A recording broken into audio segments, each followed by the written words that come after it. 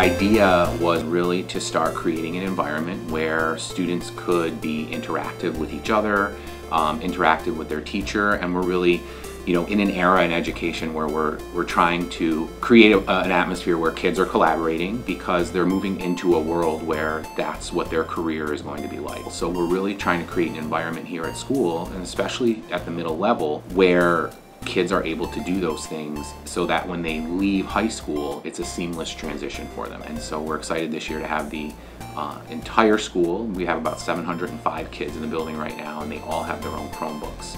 And there's a, a different vibe in this building this year because everyone has access all the time. Every student that's here at Oliver Winch this year has gone through Chromebook Academy with me. They've all learned the same basic uh, lessons about Chrome and about uh, Chromebook maintenance.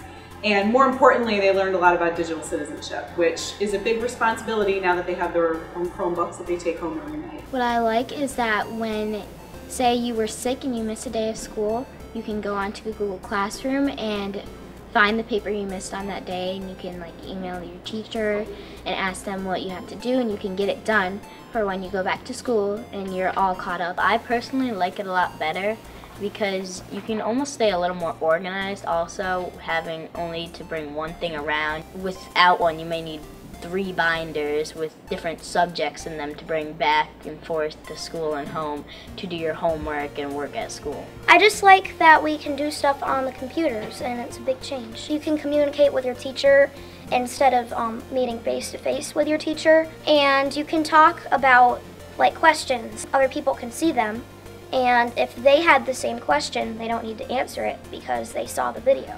I work with all teachers from kindergarten right through 12th grade in every subject area and teach them how to integrate computers and technology into their classrooms. People are excited about it. Um, they're seeing what a difference it can make, especially with engagement of students in their classrooms. It's not only about using and learning technology, but it's about collaborating. It's about getting every student involved in what's going on for every student whether shy or outgoing, to be engaged in every single lesson. For so long, we were only having conversations with our in our own small communities. And what you're seeing is teachers are starting to realize that it's just as easy for them to walk next door and have a conversation with one of their colleagues and bring the kids over to talk to their classmates as it is for them to do a Google Hangout or a Skype phone call with somebody in Japan or in Europe uh, or Australia. And you're seeing, you're seeing that happen.